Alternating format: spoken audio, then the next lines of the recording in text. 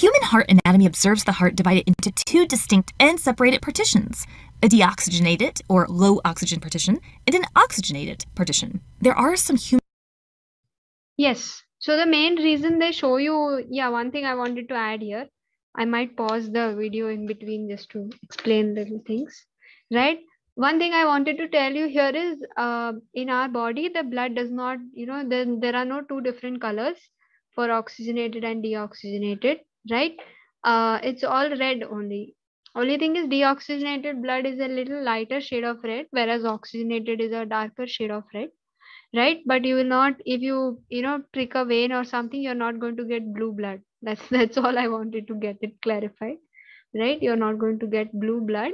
The only reason it is shown as blue in most of the diagrams is for our understanding because when we are learning anatomy or when we are learning different structures or learning about veins etc just so that we are clear that blue stands for deoxygenated uh, that convention has been made. Or there is a you know distinction between the two. If everything was red then understanding the difference between the two gets complicated right? Okay. Coming back to our video. Congenital heart conditions that can result in this oxygenated and deoxygenated blood mixing, however. More on that at the end. Arteries carry blood away from the heart. Think A for away. Arteries are typically oxygen rich, but there are exceptions. Veins generally carry blood to the heart.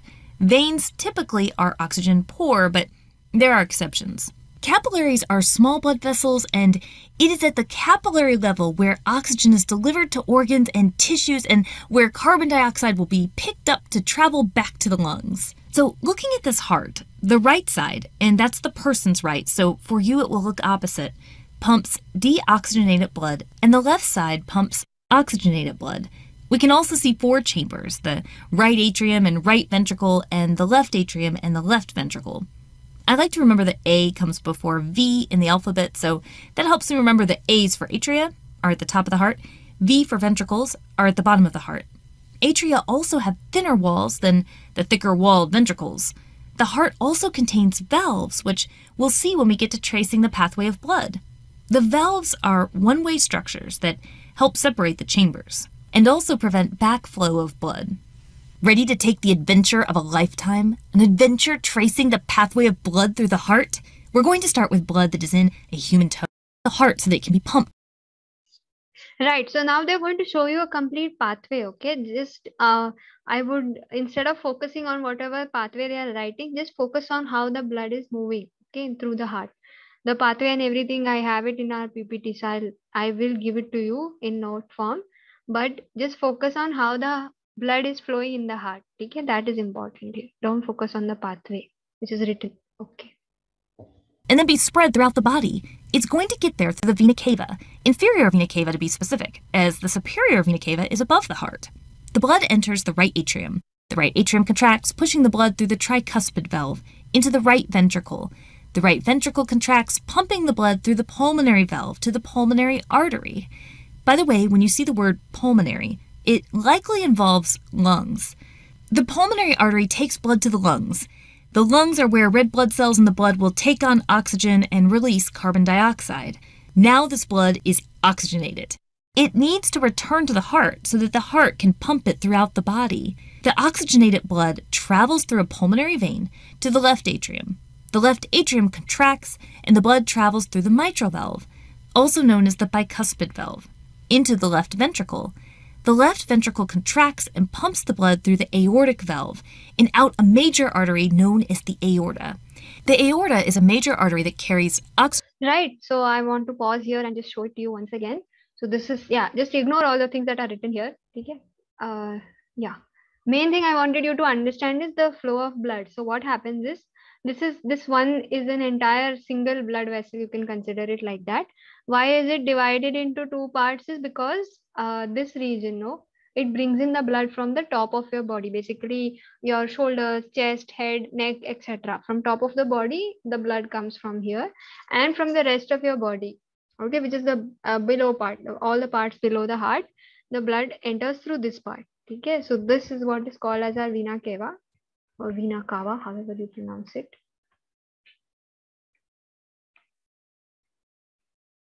Okay, ठीक है So blood enters here. This is our first step. I'll draw it in uh, yellow. Blood enters the atrium. Okay, and then from here it is pumped into the ventricle. From here it is pumped into this vessel which is known as the pulmonary artery. From here it goes to the lungs. Okay, and from the lungs it comes back into this atrium. Okay, and it comes to the ventricles and from the ventricles it is pumped into this biggest artery which then sends it to all parts of the body which is known as the aorta. Okay. So i just wanted you to understand the flow of blood from this uh, video like how it comes and goes uh, what parts you need to know etc what all how does it travel etc everything i will tell you once we come back to our ppt okay. So main thing is blood deoxygenated blood will come from all the organs. It will enter the heart right? And then that blood is pumped to the lungs in the lungs it will pick up oxygen and it will come back to the heart. And then it will be pumped to all the parts of your body. Right. Okay. Oxygenated blood throughout the body. Heart Yes. needs its own blood supply. Yes mike you had a question. Yeah, uh, if like if there was a case where a human did not have a heart, huh. then would we still be able to survive? uh okay difficult to answer uh if it is if it is after means uh, if there's a condition when you know you have to take out your heart because it is not functioning properly or you know it is only functioning up to 5% something like that yes the human would survive wherein you would put in another heart. But if you're telling me if there's a condition where we were born without a heart itself then no we would not survive. It won't be possible So it's like necessary for that the blood to get that much pressure and move across the body. Otherwise, we can't survive. Yes, yes, very, very necessary, very necessary. Yes, Dakshini has mentioned, right? There is something called a bypass machine. So that depends on how much part of your uh, heart is uh, not functioning or is functioning properly. So based on that, you know, you might have even heard the term pacemaker. Some people have a pacemaker. Hopefully, not many people in our uh, country or you know in our surroundings will have it. But yeah, some people have something called as a pacemaker in their heart, an artificial pacemaker. This is the one which gives the electric signal to ensure that the heart keeps beating. Okay another thing is a bypass machine. Uh, that is usually done when you are in the process of getting another heart or basically a heart transplant. In between that if you are not functioning your heart is not functioning well but uh, you need something to you know help you through with it then you can use that. But this is this is in the case then your heart is in your body but everything will be connected to that machine. So you need your heart in its place functioning or not. If it's not there automatically you are uh, dead. You won't survive right? Okay. So based on there are a lot of things now. Uh, earlier uh, heart surgeries were considered very uh, scary and uh, you know uh, i would say something very frightening only. Yeah that's the correct word. But now as times have passed a lot of discoveries and a lot of uh, you know insight has been gained from the medical and anatomical perspective. Because of that now they've found ways to you know repair and regenerate hearts. Uh, you know even when you are um, alive itself or you know how to re- reboot your system etc there are a lot of things which they can do now so it's not that scary as it used to be okay right The heart can receive this blood supply through coronary arteries. Coronary arteries branch off the aorta and eventually deliver blood into capillaries. These capillaries deliver oxygen and glucose to the heart. Coronary veins will take the deoxygenated blood to the right atrium, where the blood will eventually travel the pathway to become oxygenated. In fact, to quiz yourself, can you pause the video and trace the pathway of blood again, starting with the right atrium? Bicuspid valve, right ventricle, pulmonary if I valve. pause it, it does not want to sit. Okay. Right. Okay. Let me take you back to my uh, PPT. There's just one more point which says that, okay, heart beats uh, continuously and you need it to uh, beat properly in order to survive, right? It was over uh, 1 lakh beats per day, something like that. That's. The rest of it is back to our.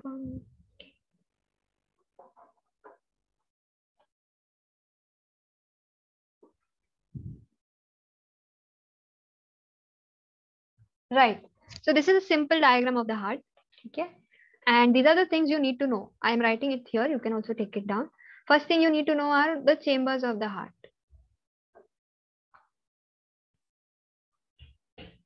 Correct? So there are four chambers. Uh, namely, you have the right atrium,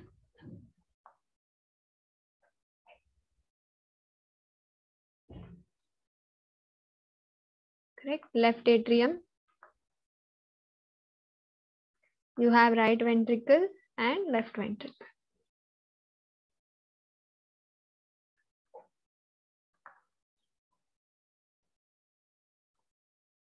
Okay, uh, these two together, which means the atrium together are usually the plural word for that is called atria. Okay, so if you read the word atria anywhere, don't get confused. They are referring to the atriums together. Okay, and for ventricle, it is the plural form is just add an s. There's no other word for it. Okay, but yeah, if you just if you come across this word, uh, don't get confused as to is it another part or something. It is just they're talking of both the atriums together so they call it atria. Okay. Right so we have our four four chambers here right? This is what you need to know.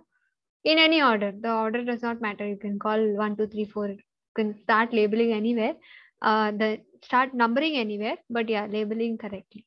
So this is uh now you would have got an idea after seeing the video right? This is when you are looking at it it is opposite to you but this is from the person's perspective right? That's why even though this is my right i'm calling it left atrium. Got it? Okay. So these this this is one thing you need to know. Second thing you need to know is what are valves? Or basically what is the function or the purpose of valves? Okay. Their main function is to prevent backflow of blood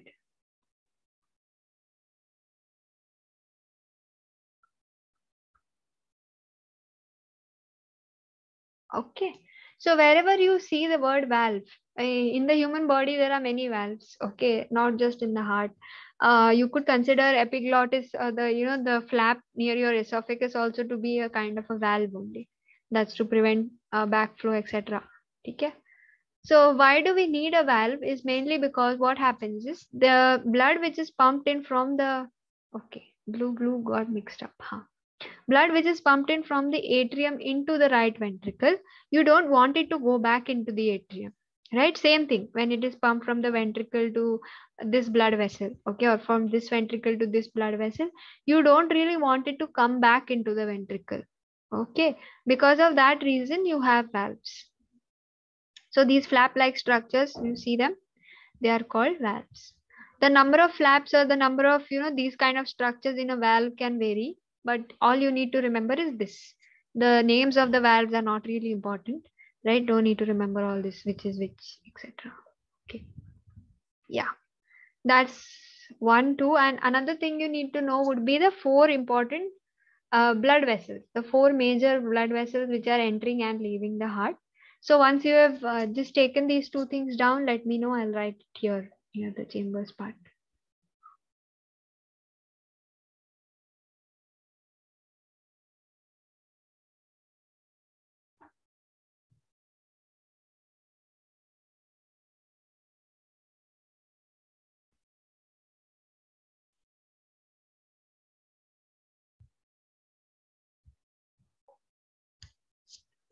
Done, right? You must have written the chambers of the heart. Completed that, right?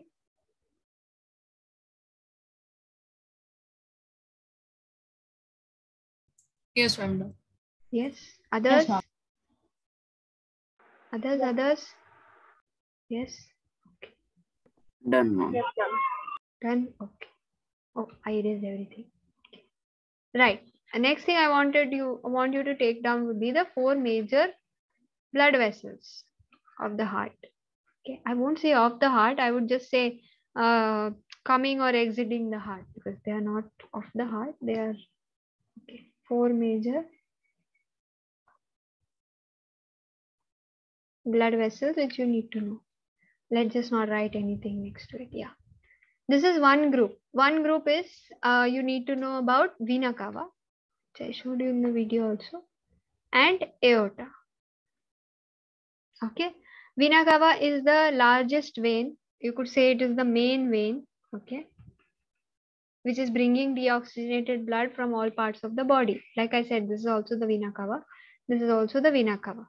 This brings blood from all the top regions up till your shoulder or your chest region. And this brings the blood from the rest of the body. Okay, so you can write it there next to vena cava that, uh, what was I going to write? Brings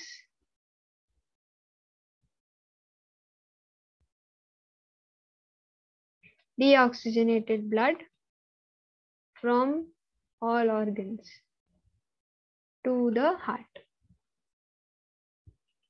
Right? And aorta is your main, I'm writing it here, main artery. And what does the aorta do? It sends oxygenated blood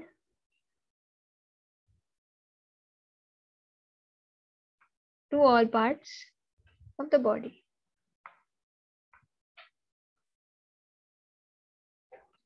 Okay, like in the video, you can remember what they were saying. So A would be for away, right? All the arteries and aorta both send the blood away, right? Okay. And veins would be for, you know, bringing it back.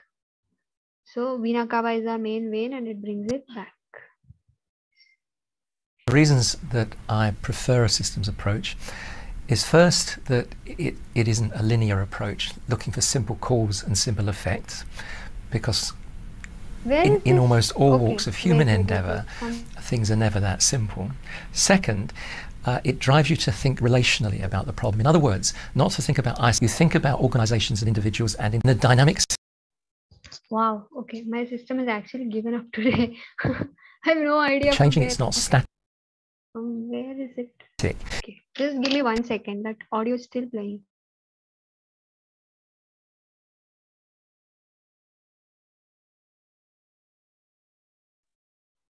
Right. Sorry. I don't know from where, which tab, what audio started playing. I have no idea. Okay. Coming back to yes. Huh. So I was telling you that uh, veins or vena cava would ideally send blood and aorta, arteries, everything. They, uh, no, no, no. Veins and vena cava, I'm so sorry. They bring blood, right? Aorta, arteries, or when you say A, you can say away and they would be sending the oxygenated blood. Right. So yeah, in yesterday's class and in today's class, we heard that there are exceptions, right? That not all arteries send oxygenated blood and not all veins carry deoxygenated blood. So we will be learning about the two exceptions today, which are these group. Uh, you, this is our group. Okay, all colors are taken. Okay, let's take orange, which is basically or namely the pulmonary artery and the pulmonary vein. Right. So this becomes another group. Why do I call it the group? Is because again, what they mentioned in the video, pulmonary refers to the lungs. So both these blood vessels have something to do with the lungs. They either send the blood to the lungs or they bring it back from the lungs. Right. And why do we say that they are exceptions? Is because pulmonary artery is the only artery which sends deoxygenated blood to the lung. So I'm writing it here. It sends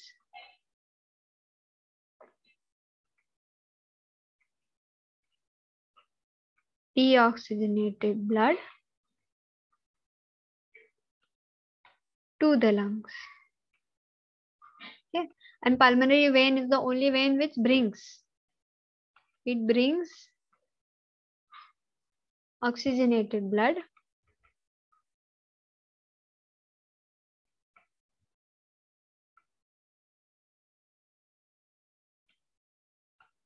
From the lungs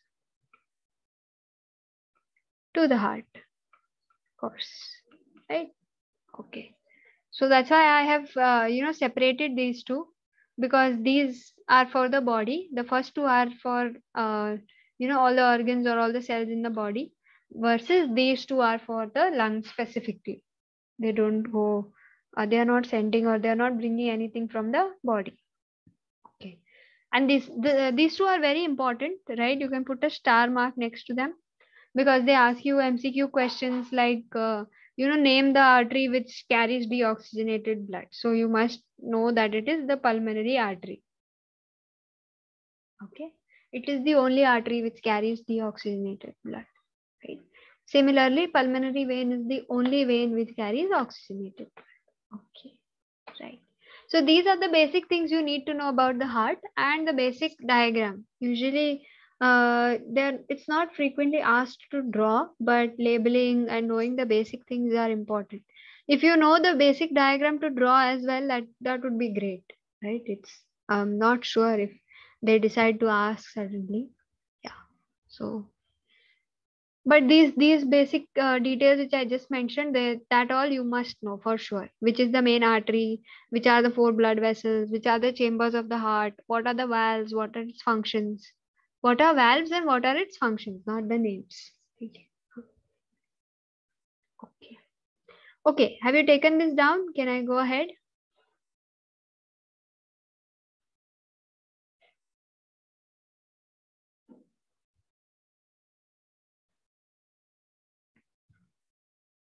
Oh, today nobody switched on their camera. Sad. Can't see any of you. okay. Good, good. Okay. Uh, I had a question. Ah, tell me. Uh, so this uh, aorta, it's also artery, right? It's the main artery, right? Yes, yes. Aorta is the main artery. Correct.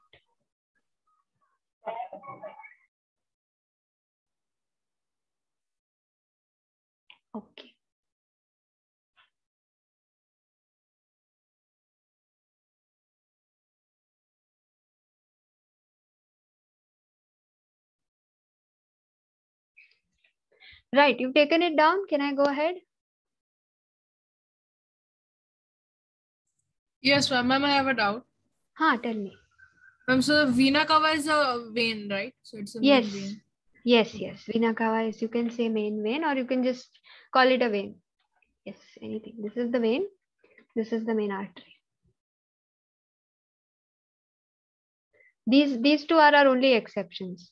Okay, these two are our only exceptions where the function of artery and vein is reversed. Okay.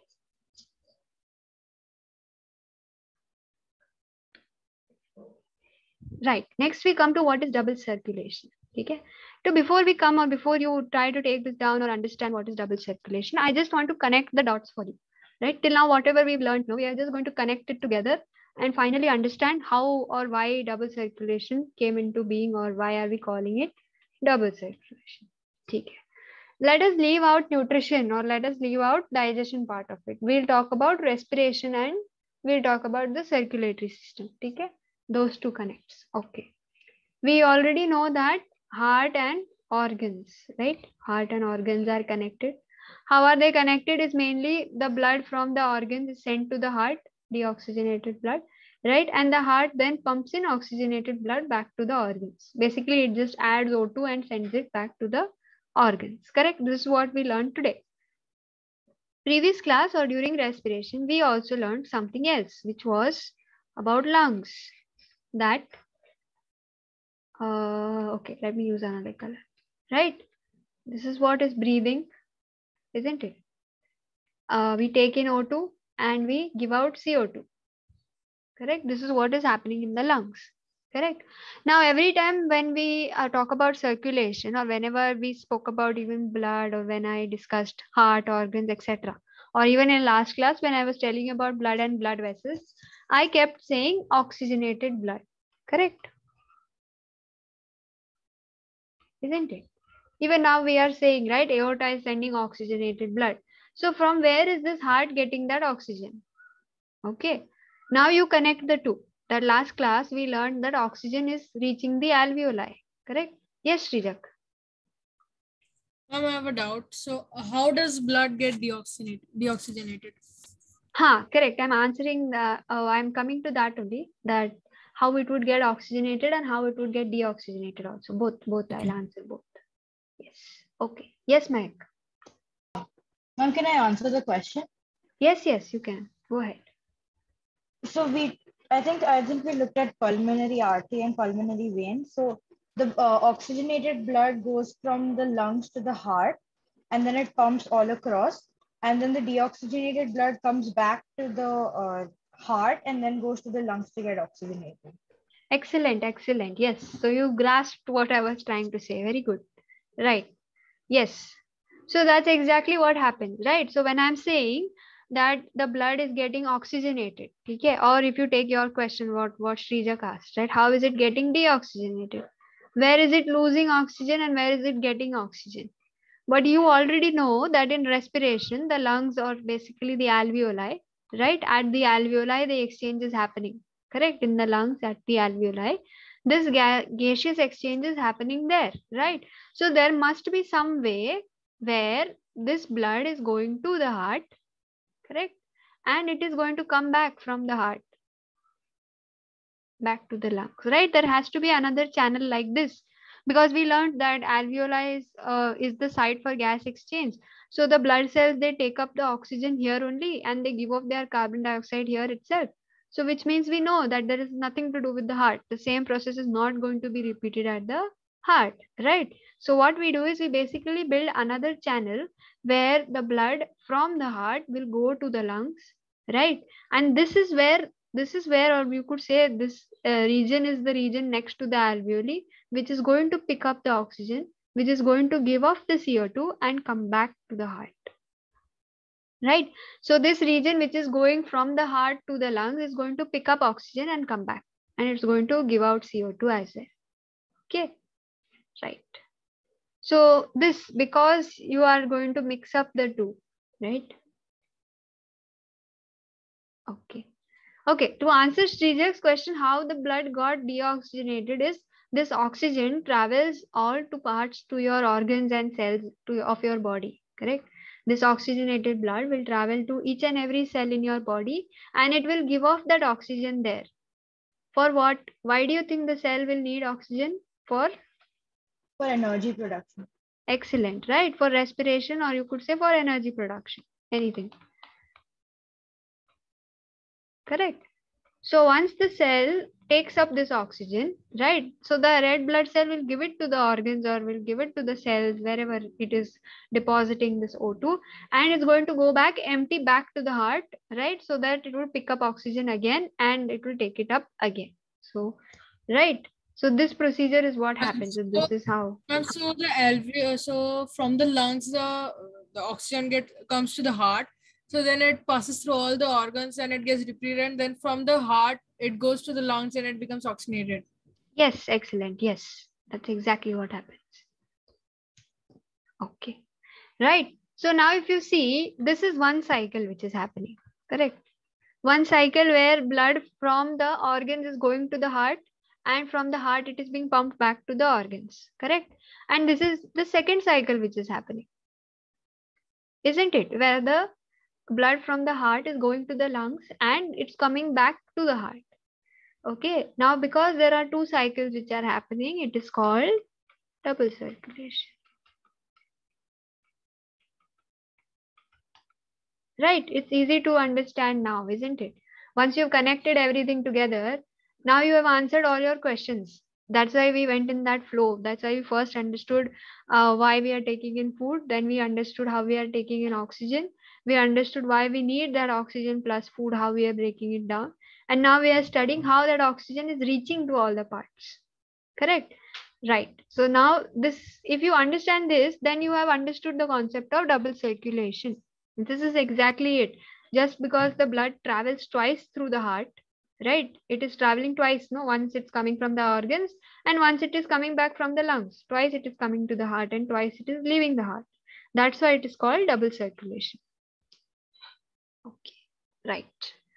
Uh, the same thing, whatever I've written here, uh, I have put it in the form, you know, proper format in the previous slide and given you proper points, etc., which you can write when they ask.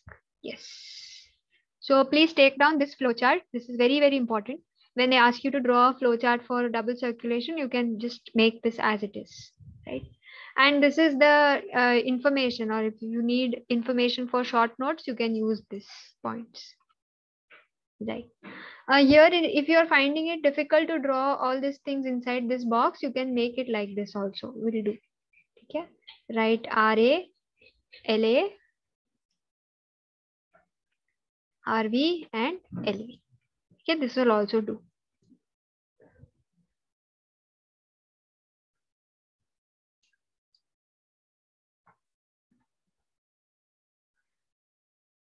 Yeah, one thing you can always remember is the atrium will always be collecting blood. Okay, atrium or atria, they will always be collecting blood. They don't give it. Okay, they collect. Ventricles give. Right, so you'll remember the direction of arrows also. Now that will help you. Ventricle will always be giving blood. See, this side, this side it is giving, whereas atrium will always be taking in. From wherever it is coming, it is just taking it in remember that. Yeah the other things though we already know right? Pulmonary arteries carrying deoxygenated blood to the lungs oxygenated blood everything else i just explained. So yeah that's that in the diagram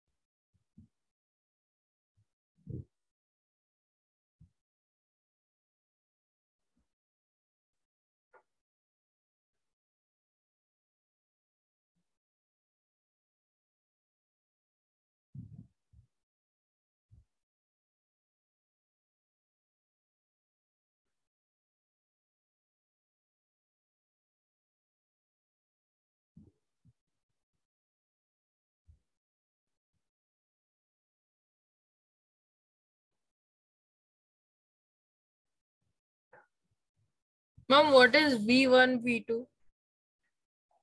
uh, that is just stating valves. Valve 1 and valve 2 yeah you can you can ignore that chalega. These numberings are also just for you to remember that you you've included all these parts or not not playing an important role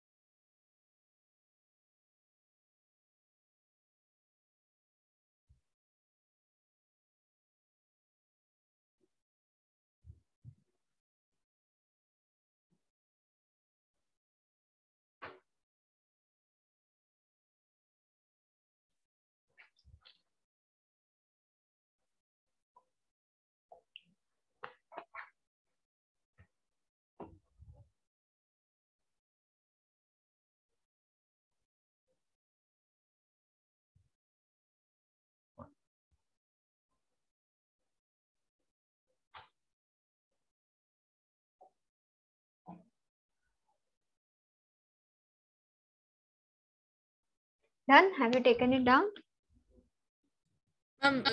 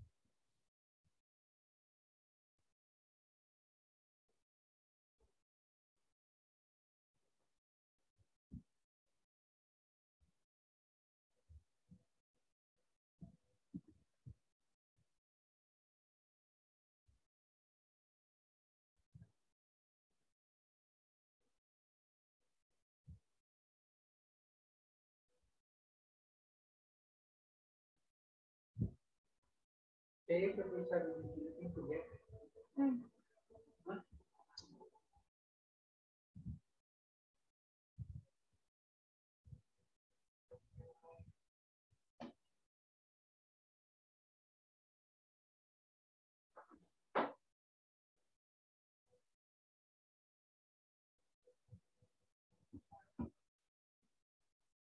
Done?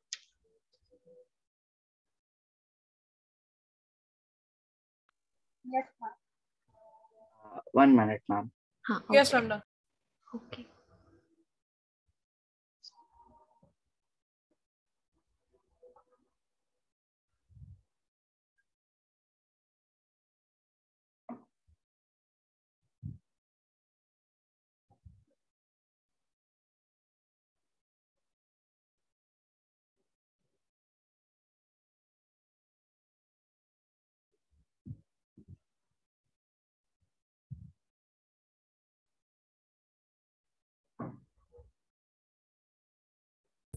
Done, ma'am.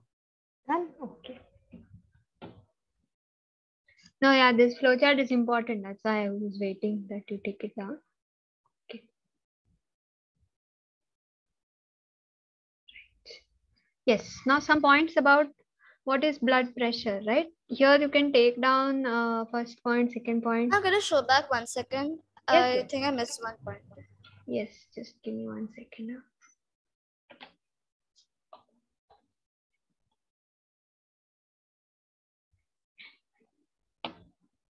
Yeah.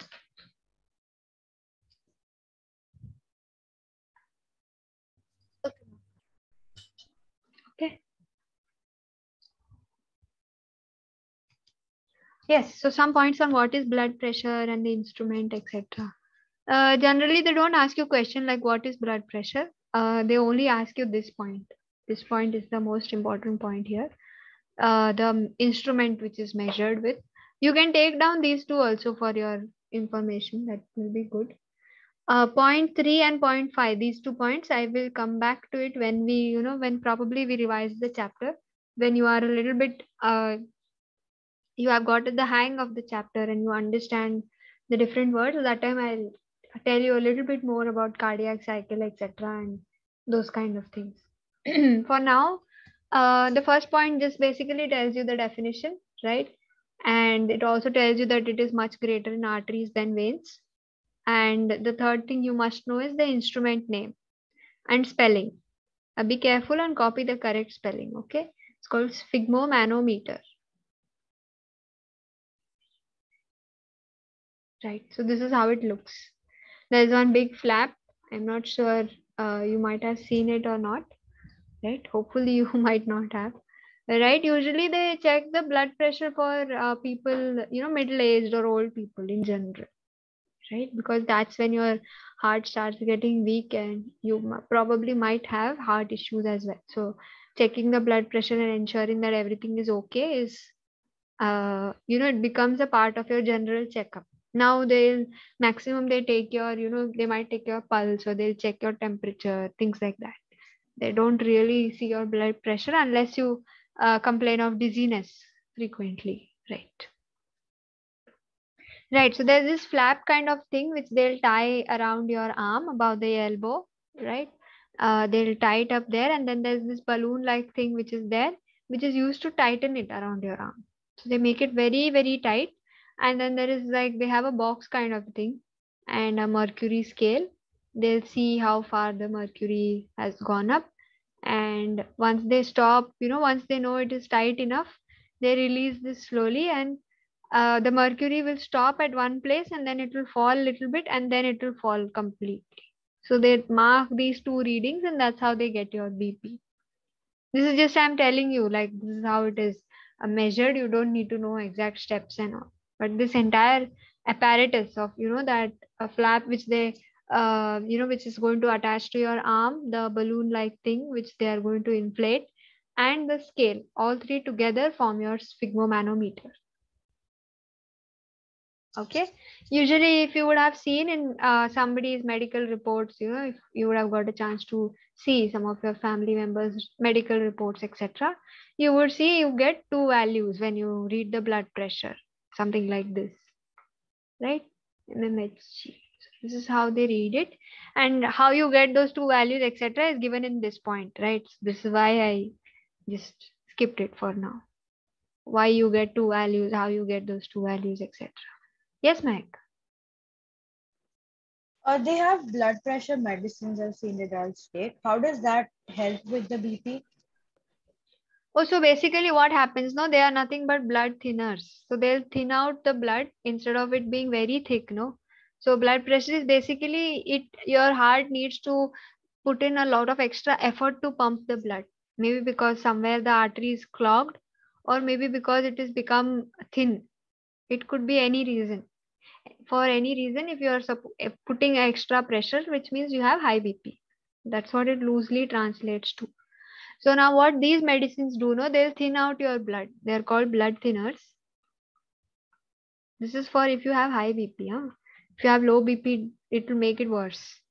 They're usually a type of blood thinners where they will ensure that you know these blood cells are become smaller or you know it has become more liquidy, more fluid structure, so it can pass through whatever small place it is and there will be something to remove this blockage also if there is some blockage somewhere something is some cells have got stuck together or something has deposited here there will be some kind of substance to clear that out as well that's how it will help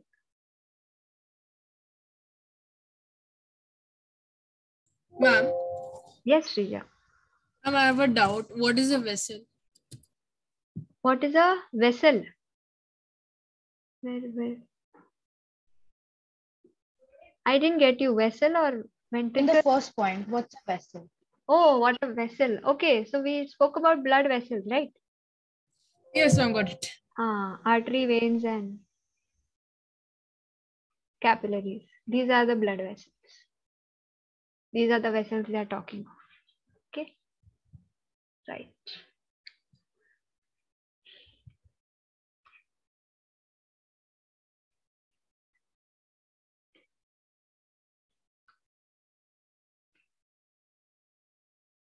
Okay, have you taken down the points? Can I go ahead? Ma'am, we have to take the three points only, right? Yes, yes, only the three points. This is just Yes, extra information that you know what happens if there is high BP, then you have something which is called as hypertension. And how it happens, what I just explained, you know, Mehak asked, right? What happens if when they take uh, BP medicine, etc. So that all only is explained here. So this once you understand how blood pumps through the heart, or you know, uh, what am I saying? How heart pumps the blood, or how uh, you know the blood flows, etc. Once you get a little bit grasp of the chapter, then I'll come back and I'll tell you extra things. Okay. Okay.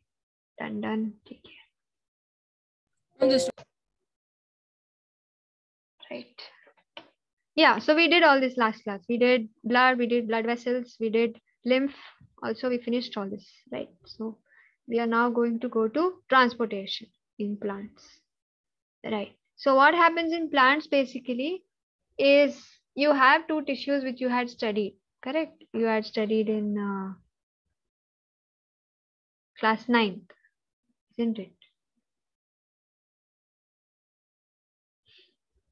among the many tissues you had studied, there were two permanent tissues, which was okay. One second. What happened to this?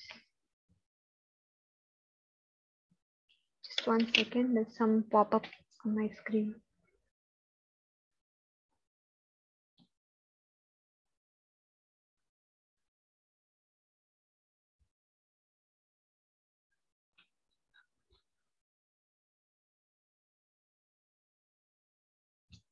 Yeah. Yes. So among the many tissues you studied, you studied two permanent tissues, which were xylem and phloem. So here we are going to look at how the transport happens in xylem and phloem. So basically, if you remember, yeah, you can take these two points down. Uh, the first point is not important, it just explains, right? You can take these two down, that transport of water and minerals is done via the xylem and transport of food and other substances is done via the phloem. That's all is important here. Right. So in class ninth, we we learned about the structures, and you know we spoke about how uh, does it have a, a thick cell wall or thin cell wall? Does it have perforations? How does it look like? What are the different uh, components of xylem and phloem? Right, xylem had uh, four components. I cannot place them right now. Yeah, phloem had also four components. Phloem, uh, companion cells, etc. Right so those kind of things. We saw the structure, everything properly in class 9. But now we are going to see how exactly they help the plant or how exactly the transportation happens. This also in just brief, not in high detail that, you know, okay, this compound will get stuck here or, you know, this reaction will happen and then it will move, etc. Not all that, just basics, how it will get transported. Okay.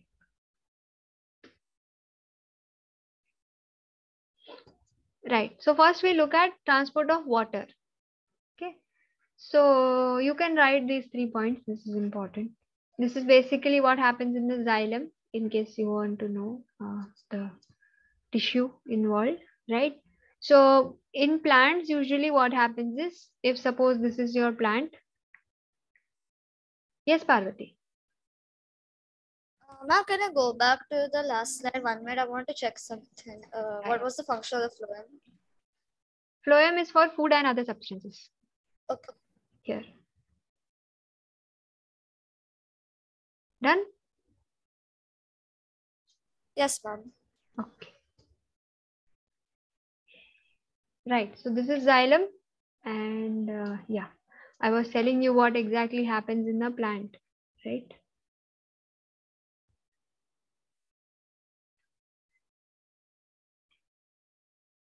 Okay, you know what? Take this down, then I'll explain it to you. This is all new, right? So I don't want you to multitask. You take it down, then I'll explain it.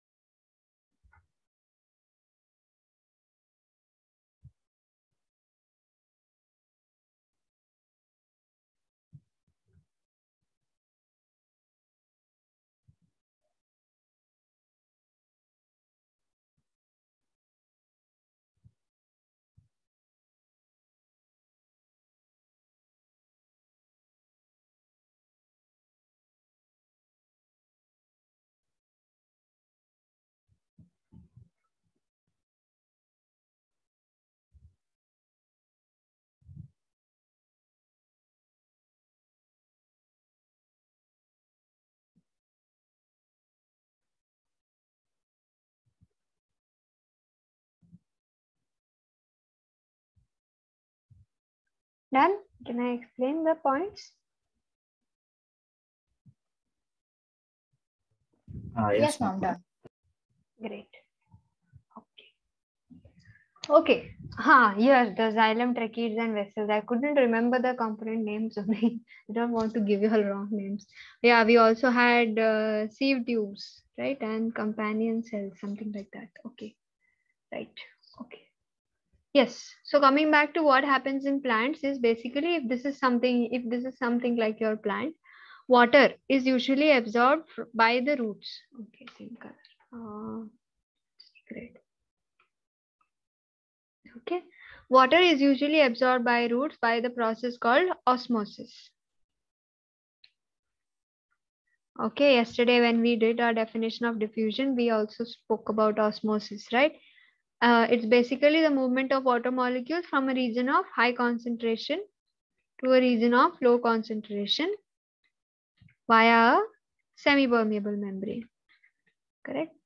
The keywords here is semi-permeable membrane and movement of only water molecules. Okay. So in case, yeah, in case if you need a recap or you, you know, you've forgotten what osmosis is, that you can take it down, otherwise not required. So by osmosis, water molecules, they enter the root hairs and root cells. Okay, so even if you're watering the plant, you know, let's say you're watering the leaf or you put water to the stem, etc. It does not really take up water like that. It always takes up water from the root cells. Okay, so once this water enters the root, it uh, travels all the way or, you know, it will travel all the way up via the xylem and it will reach the tip of the plants, which is basically the leaves or the flowers, etc. Let's consider the tip of the plant to be the leaf only, right? So now once it reaches the leaf, uh, what is going to happen is a process which is known as transpiration. So there are stomata in the leaf, right? Are we saw tomato yes, tomata yesterday also, right? I almost said zomato. okay, okay, tomata right maybe i am hungry that i'm saying. I'm looking at stomata and thinking zomato. Okay okay. Uh, yeah so this these are the pores you know which are present on the underside of the leaf uh, the stomata. So what happens is like i said when we discussed uh, respiration in plants right that some amount of oxygen or carbon dioxide when it is released from the stomata some amount of water vapor is also released out. So that is what is called transpiration, which is there. Again, the definition is there in the next slide. I'll come back to it. But I just wanted to explain what exactly happens here itself. Okay, so water is lost again via diffusion and via, uh, you know, difference in concentration from the leaf as well. Okay, I'm erasing this. Okay, so let's take uh, blue color here and let's put that. Okay. So water is lost from here. Taken up here from here. Okay. Now already you would have observed something, right? That the movement of water molecules is against the direction of gravity. Isn't it? Which means it is going to require some kind of energy or some kind of help to pull it upwards. And that help or that kind of energy or that process which pulls it upwards is what is called as the transpiration pull. So it is a very simple process. Again, if you understand diffusion and osmosis, you will understand what happens here. Take, for example, your leaf. Again, I'm drawing it here. Okay. Right now, there is high concentration of water in the leaf. Okay. And there is low concentration of water outside. Right. So when I say this, then of course, the water molecule is going to move outside. Correct. It's going to move out of the leaf and into the atmosphere. Okay. Now what happens is in the leaf, in the leaf, once the water has moved out, second situation, which is in the leaf, the water concentration has become low, right? Because whatever water molecules were there, they were given out. So now the water concentration in the leaf is low. So since we don't have or stomata is not having the function take take in water, so the water comes only from the roots. So because there is a low concentration in the leaf, this transpiration pull ensures that the water moves upward and reaches the leaves. Okay, so again your concentration will become high in the leaf. Okay, and again water will be given out. So this process keeps happening over and over again. It's only because of this pull or because of this change in the concentration gradient, there is a pull which is created which pushes this water molecules up to the leaf. Right? Okay. Now you might have a question if you know if the water molecule or you know if the plant is going to keep losing water like this, what is the point of sending it to up to the leaf or why is this process happening continuously? Isn't it? If I'm telling you that all the water which is taken up, etc., which is then given out, eventually you will have this question that why is it happening in the first place so for that you need to understand a something or a concept or a word which is known as equilibrium okay? Equilibrium in simple language basically refers to same.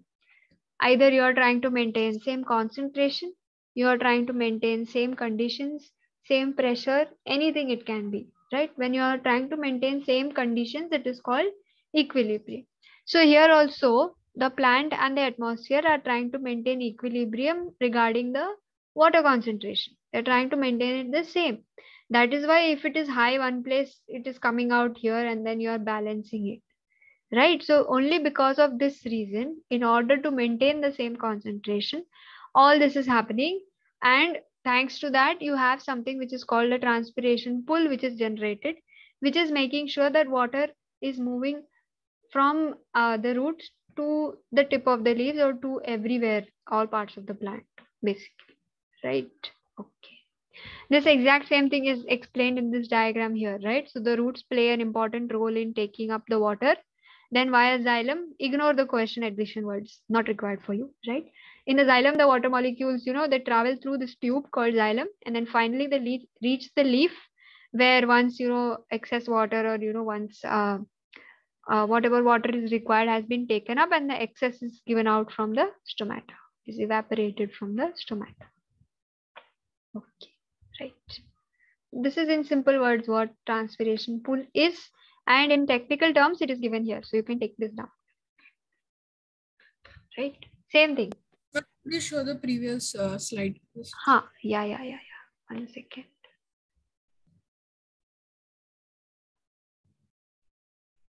Yes. Did you want the drawing or this? No, ma'am. I wanted to ask what is cohesion and adhesion? Oh you wanted to ask. Uh, they are a type of chemical reactions. Okay, cohesion basically means sticking together. Cohesion adhesion refers to sticking together. Uh, if you if you have seen the bottle of Fevicol, uh, you must have seen it is written adhesive on it. You've seen that word? Yes. Adhesive? Yes. So adhesive or adhesion basically refers to things sticking together. Okay, so the from the roots, the water goes up and sticks to the xylem till the leaf. Yes, yes. So basically the water molecule they stick to each other so that you know they are they form like a chain kind of thing. A water molecule So chain. that, uh, it's kind of like preventing the backflow of water, like the Uh, like the vena cava. no, no, no, no, no, no, no, no, no. That there's no structure preventing backflow of water.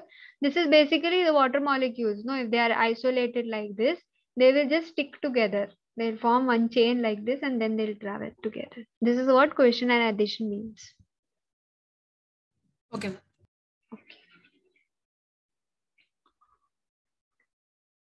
Uh, these are actually chemical terms when you study uh, chemistry in detail, uh, probably 11th, 12th, or in future. After that, post that, you will come across these words called cohesion adhesion, right? So they are uh, chemical terms, not required right now. Okay. Yes. So this is important. This first point is basically the definition of transpiration. Uh, right? Transpiration might not be new for you. You would have definitely come across it or learned about it in your previous years but transpiration pull is new for you what is that right so that i explained it to you yes so the loss of water in the form of water vapor you can add water vapor here or simply vapor from the living tissues of aerial parts of the plant aerial usually refers to tips okay tips or topmost part is what is called aerial Right. It mainly occurs via diffusion through stomata. So when stomata opens, some amount of water vapor also is released. Yes, Mehak. What would be the difference between transpiration and perspiration, which happens in humans? Huh. So transpiration only happens in plants. Perspiration is happening in humans. That is the difference. But the process is the same. Uh, you could say, um, okay, broadly you can say it is the same, but in humans we don't have stomata, right? And plants don't have uh, sweat glands or, you know, we don't release sweat. So perspiration refers to releasing sweat, not exactly water. sweat is a mixture of salts and water, right? That would be the main difference. Whereas in plants, uh, salts don't usually leach out like this. It's just water. That would be the main difference between the two. Remaining things are same. Purse. Okay, I wrote purse.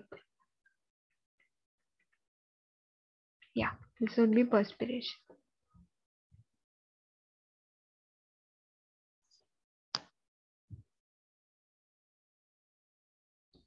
Right. So transpiration is uh, yeah loss of water. Then mainly occurs through stomata, like we just said. And what is transpiration pull? I explained it to you, right? Because of the change in concentration, what happens is there is a pulling force kind of thing created.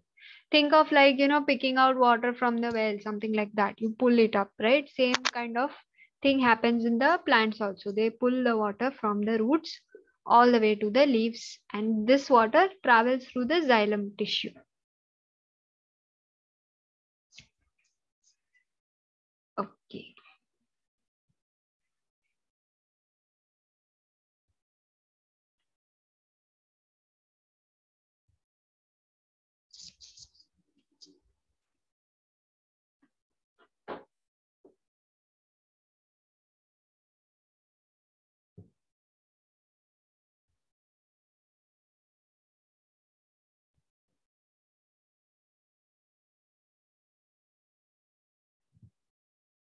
Let me know once you have taken it down.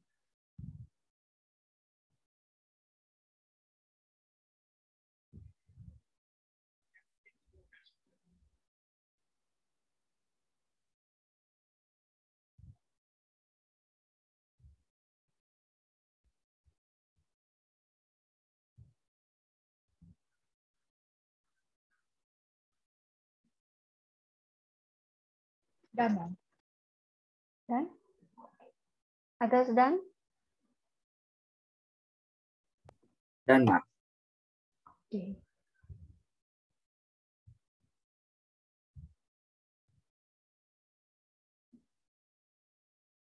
Okay, let's go ahead. Yes, I'm done. Done. Right. Next, we need to know how does food move. Here also, I will uh, tell you to take down only a couple of points, not all of them. Yeah, the points. Yeah, the first one and the third one. First one mainly to understand what is the definition of translocation, right? So whenever you talk about movement of food, it is known as translocation. What are the soluble products of photosynthesis? This is basically the food or you know the glucose. You can just consider it as glucose molecules. This is the transport of soluble products of photosynthesis. And it is called translocation. And another point which you need to know is this requires energy. So you can club them together and write as one point. Okay. The other two points. So basically phloem also transports amino acids, other substances not required to know. Basically, they're just trying to say apart from food, some other uh, salts or some other proteins and things like that are also transferred. That's not required. The last point, no, the last point is explaining how this entire thing happens. So this explanation I will do when we do a revision of the chapter so that when you are, you know, a little bit better with the chapter, I'll come back to it. This is the same thing like I explained transpiration to you. No, the same thing happens for food and it is called instead of transpiration, it is called active transport. So the exact same thing is explained here.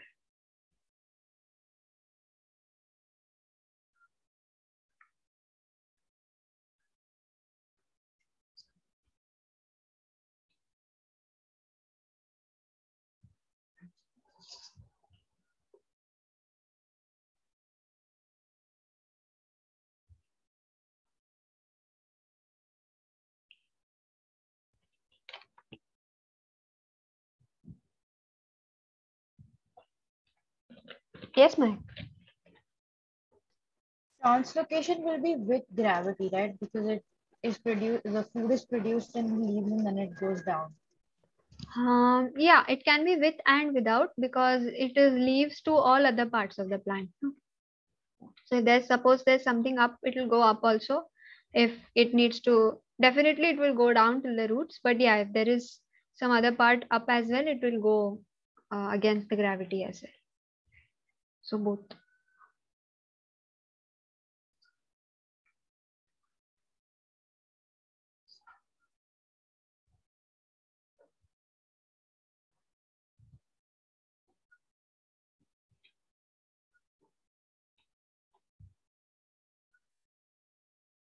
Done? Taken down, no? Two points only. Done, Yes. Yes. Okay. Right. Yeah. So this again, same thing, just an explanation or, you know, a difference between the two. This also I'll come back when we do revision. So the main uh, concept or the main purpose of, you know, adding xylem phloem here in this chapter was to just connect the dots for you that you had learned the structure of xylem phloem in grade 9, right? So to understand how exactly it works or what happens, the two are added here. So both work via the same principle that is the difference in concentration or a difference in pressure, right? Just a few differences which are there have been highlighted in those points there and in this figure. So this when we do revision, I'll come back to it. So skip it for now. No worries. Okay. Yes.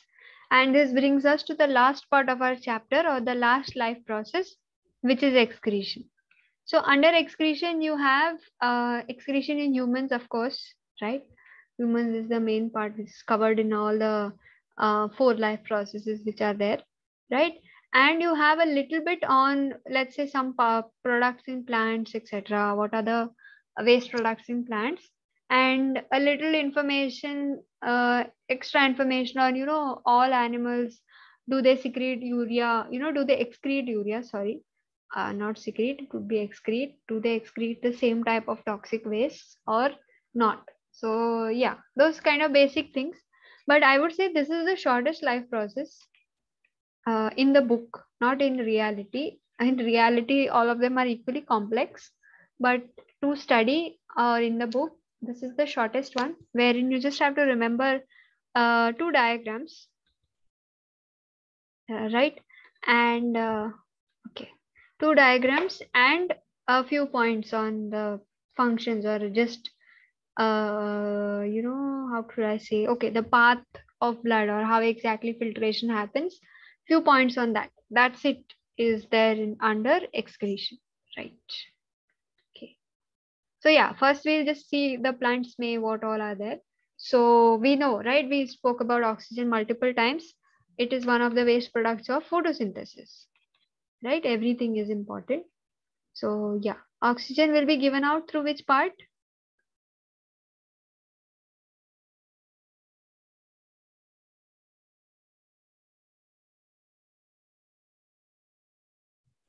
The stomata.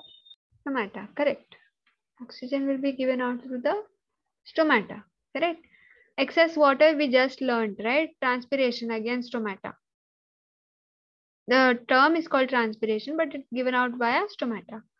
Right? There are also waste products which are stored in cellular vacuoles, leaves that fall off, and resin and gums. And some amount of waste products are released into the soil as well. Okay, coming back to this part. Again, little recap of class 9th. Cell chapter.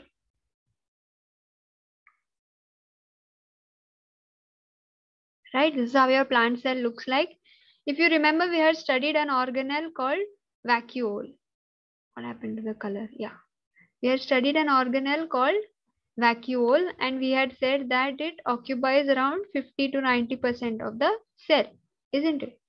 So yeah, this vacuole is where, and when we studied the organelle, we also said that it is used for storage, storage purposes, right? So the waste products can be stored in these vacuoles.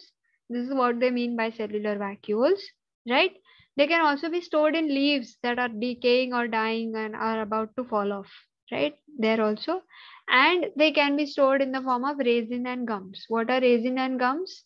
Basically, if this is your tree, right? Sometimes in some trees, not all trees, in some trees, when you, you know, cut open or you, uh, you know, make a slice in the bark, you take a knife or any sharp object and just make a thin slice on the bark you will notice some substances flowing out of it, some gooey substance which will be flowing out of it.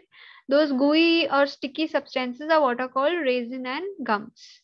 So there are different products, either they can be resins or they can be gums. Uh, gums may you have uh, xanthan gums or you know, um, I'm not getting the other word. Generally gums only they're called, which are used for sticking or you know for industrial uh, purposes, any industrial manufacturing things they'll require. One important product you get like this is rubber. I think you would have heard about it, right? You get rubber like this, rubber trees, rubber is collected like this. They'll keep a bucket below attached here and all this sticky substance is collected like this. Then it is taken to the factories and molded or, you know, uh, processed into whatever form of rubber you want. Make it tires, make it uh, anything wherever rubbers are used for right? So the, these products are resin and gums usually stored in the barks. And when you slice them you will get in the form of you know this. This is not to be confused with young plants. So young plants if you cut open no some plants if you just pluck their stem you will get some white liquid white oozy liquid. Sometimes it smells also or sometimes it's just sticky. It just sticks in your hand. That is not the same as this. That is either it is a substance you know which the plant is secre- secreting uh, to keep predators off or it is uh, you know something toxic for the person who's trying to bite it off.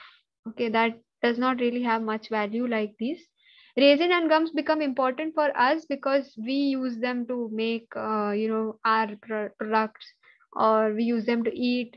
Something like maple syrup also. Maple syrup also you get like this. Okay from maple trees right yeah.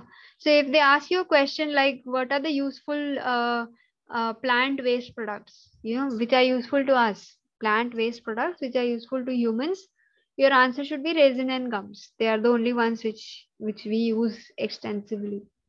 Right okay. Right. Done. Have you taken this slide down? Go ahead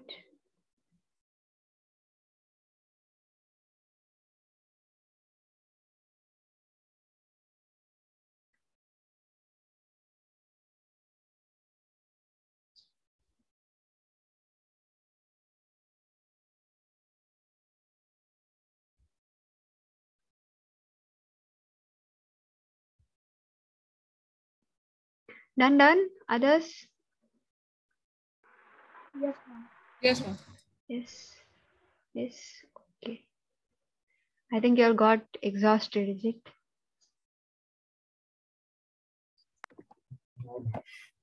No? Mhm. Okay. Yeah, today batch one was also very quiet. You all are also very quiet. Think, yeah, probably studying is becoming too much, is it? okay. Right. So excretion in humans, you need to uh, don't worry. What I'll do is no, like I showed, I sent the video. Uh, I sent one video no on the WhatsApp group. It is this first video only. So that time I was not able to play it because of some issue. So instead, what I'll do is instead of keeping you here, since you all are half tired, I'll you can watch that video which I sent on the group. I'll finish the explanation of this and then we can wrap up class a little bit early, right? So that you, you can also chill for a bit. Let's do that. Okay. But yeah, please do watch that video. Uh, why am I saying that is because the entire process of filtration or, you know, of everything happening in the nephron is explained beautifully in that video. So if you just watch it once also, it will be everything will be crystal clear to you that okay this this this, this happens. This is all i need to know. Acha this way it is going to move. Why reabsorption happens etc everything will be clear. It's just 7 or 8 minute long. It's not very long also. Right. Okay uh coming back to excretion in humans let me do general information first and then come back to dialysis. Right Yes, so in humans, you need to know a few things. One would be the diagram of excretory system. Okay, this is basically, you know, knowing where the kidneys are. Diagram of the kidneys, ureter, bladder, and urethra, right? That diagram. It's there in your CNN textbooks, etc right? This again you must be doing it uh, you must be aware of it. So put it as a secondary focus. So don't put it as you know the main thing you must do first. The main diagram you first need to learn would be this one. This is nothing but the diagram of a nephron.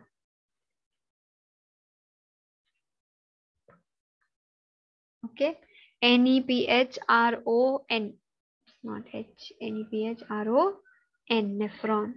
And do we have to draw this? Uh, not now. You can draw it in your notes after class. But yes, the diagram of this is important. Huh? So you can draw it for practice whenever you find time. Right. Okay. Uh, yeah, so this is the diagram of a nephron. Uh, what are nephrons, if you would ask, is basically like we have, uh, you know, for nervous system, we have neurons, right? Similarly, the basic units in the kidneys or the basic uh, structural and functional units of kidneys are called nephrons. There are specialized type of cells whose main task would be to filter out waste products from blood. Right? Okay.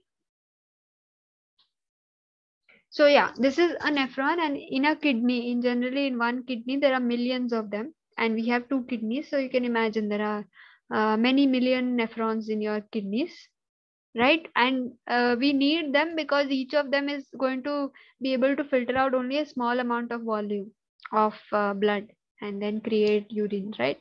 Then all from all these nephrons, all the waste products is collected as urine and passed on to the ureter right.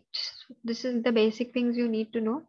Okay. Uh, for this diagram uh, if you want to know what all you need to remember to label actually everything is important but usually for labeling they might ask you one among these.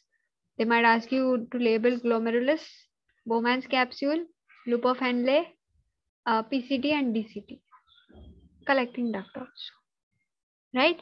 So even when you're making your diagram make sure all these points are definitely there and you know where which point is right?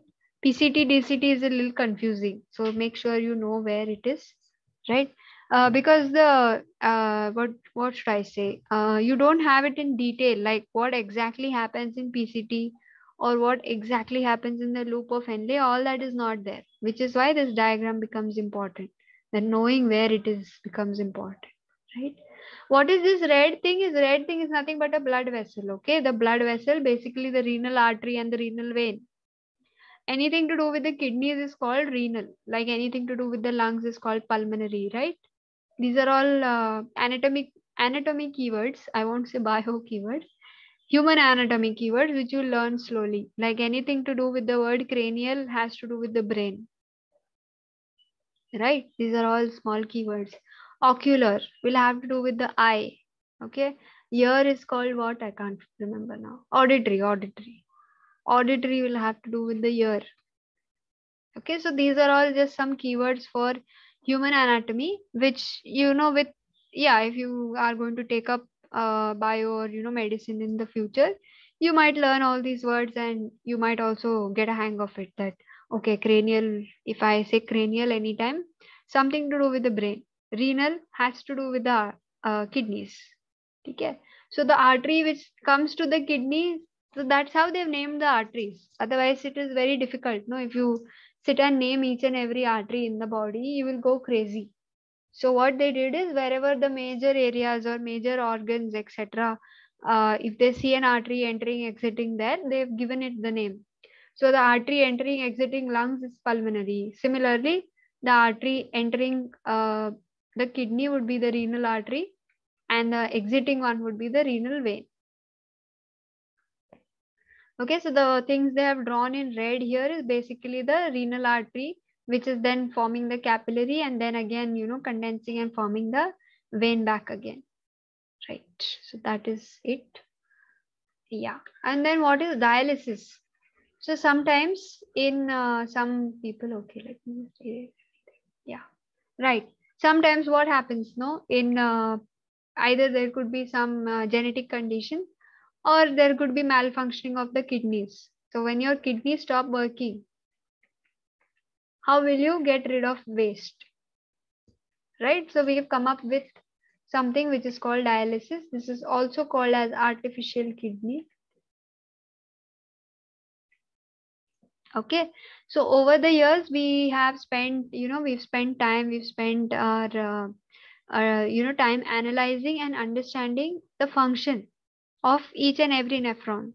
So we've spent time in understanding how the filtration happens at this level. You know what exactly is getting filtered? How exactly are we taking back stuff which is useful for us?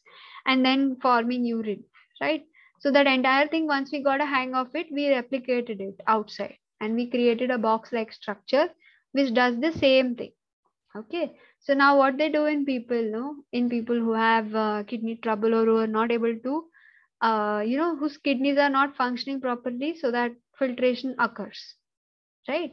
So for them there is this machine created where they will attach one tube to your arm. Okay. So one artery will be the one which is draining all the blood to this machine. This machine has a lot of tubes like this. Okay they try to mimic the nephron here. And the blood will pass through all these tubes and it will get filtered in that process. Then again there they have one okay let me just make it with uh, another color. They have another tube and they will be putting it back into your vein. Got it? Like that it happens so the entire filtration process is happening outside your body and this entire process of the blood being you know taken out filtered and then put back in your body that full thing com- combined is called dialysis. This is a dialysis machine okay? This is called a dialysis machine but the complete process is what is called dialysis. Again if you are interested if you want to know how exactly it happens you can watch that video. It's a short one i think two or three minute one nicely given. So once you have understood the processing of kidney then what's that. Right. Okay. Yeah and uh, this is a time consuming process. Why? Because see your entire the uh, you know i would say the beauty of this machine or the beauty of uh, creating something like this is that entire volume of blood in your body okay the entire liters 5 to 6 liters of blood which is there in your body is slowly passed through this machine okay and is filtered. So every ounce of your blood is filtered and sent back. Of course it is done slowly. It's not like all 5 liters are sent at once. You'll be dead otherwise. So it is done slowly but the entire volume of blood is filtered properly and sent back. That's why this is a really beautiful thing we've come up with isn't it? So medical uh, you know uh, inventions are always just uh, mind blowing right? All inventions are but i find medical ones a little bit more mind blowing okay. Right. Yes. Yes. And these are the four points or the four functions you need to know. Okay. Copy them as it is. Okay. If you want the flow this is what happens so renal artery will reach the glomerulus and at the glomerulus the glomerular filtration occurs. Okay. Then next step will be tubular reabsorption which will happen at the pct dct areas. Then collecting ducts and then finally once everything is collected once uh, you know whatever is useful to us is taken back in uh, you be passed it will be uh, you know condensed as urine and passed on to the ureter bladder for storing etc right. Yes. So these points which are given in bold no they become your keywords. Okay and these whatever information i have written uh, next to it you can write in your own words chalega. But make sure you are writing these as it is. These are important keywords. Okay so you must know what is glomerular filtration what is tubular reabsorption right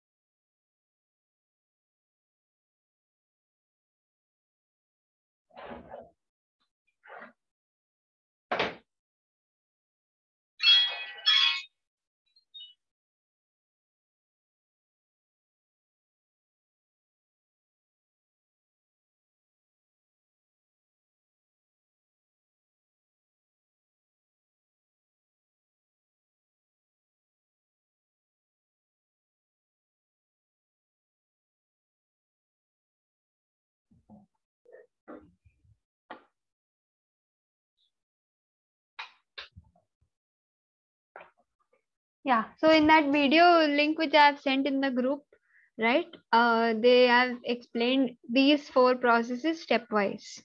Right. I instead of me explaining, I uh, preferred that video is because they've made animations for everything. So they've made an animation right at the you know glomerular level, and they're telling you how filtration happens there.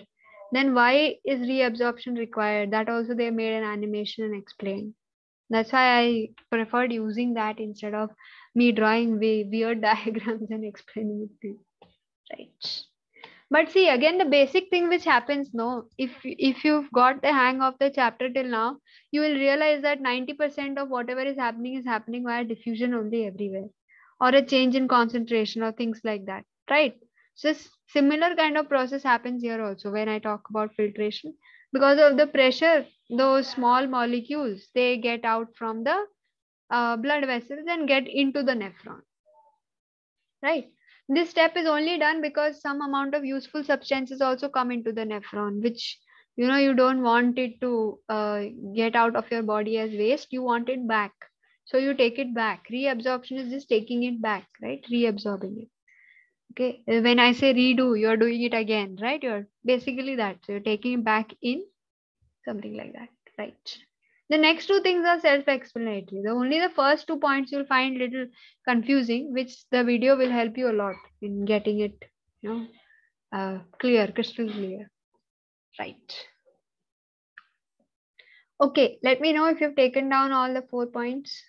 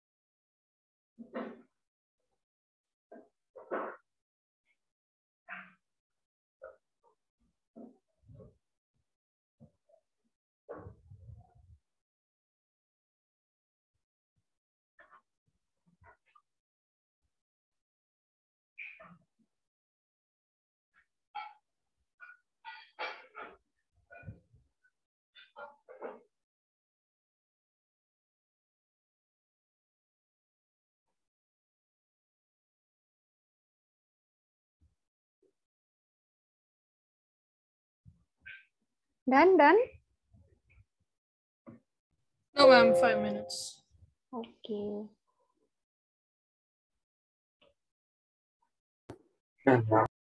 Done. Okay. Right. So this is actually the last slide of our PPT and the last part of our chapter. So yes, if you are done, then I just have a couple of things to note or to tell you. Then we can end the session also. Right. So yeah, uh, once our chapter is done, yeah, please uh, compile your notes and send it. I'll send the PPT on the group today itself. Okay. The video for this is already there. I'll I'll uh, resend it and highlight it that batch two also has to watch it. Okay. Then I'll send the PPT also. Your task will be to first send the notes, uh, whatever you made in today's class, and then over the course of your summer vacation, go through everything in detail okay go through your chapter note once. Go through the ppt or your notes either of it once. Okay? Slowly over the summer vacation don't sit one day and you know just read everything. Slowly go through it. You will definitely get a lot of questions when you try to read it on your own right? So compile all those questions and keep those ready so that when we do a revision session once we uh, you know resume classes we can get all those addressed and clear all your doubts okay so do all those things right? And of course there are a lot of videos in the ppt so whenever you find time throughout your vacation make sure you're watching those also. Some are you know some are just uh, to get you uh, interested in the chapter itself. I've not added uh, some big big videos. It's all related to the chapter only. And some are of course to get a better understanding of the things we've read and we've learned. Watch them when you get time. Just like uh, four five minute videos they'll be not uh, long half an hour half an hour videos nahi so when you get time do watch them. Right. Yeah. So after this i'll be seeing you probably once uh, uh, vacation ends right? We don't have a bio class schedule after this immediately. So yeah. Have a nice vacation. Enjoy your time. See you all later then Thank you, ma'am. Okay, yeah. So if you've copied the notes, I mean, you've copied the points, you can leave. Huh? We are done for the day. Um, Just a minute. Yeah, yeah, I'll wait. Thank you, ma'am. Have a great day. Okay, you too. Bye. Uh, is there going to be a biology revision class this Saturday? Uh, I don't think so. I don't think so. There is bio on Saturday. I'm not sure what is on Saturday can just ask classroom. No, because uh, there was never there was never bio so class, so I thought it would be. Uh yeah, actually. Um okay, I'll check with Lasya ma'am if it is going to be there. I'll just check with her. Uh, yeah, but I just won't be available because I'm going out, so I won't oh. be able to come. Is it? Is it? Oh. Yeah.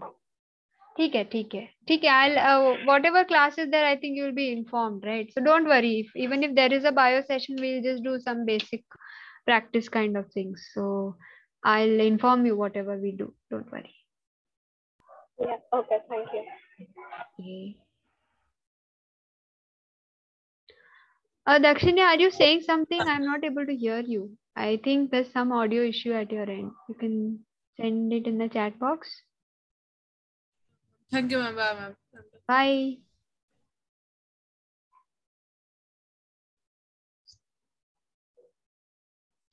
Oh, you were saying bye. Take it. Bye. See you.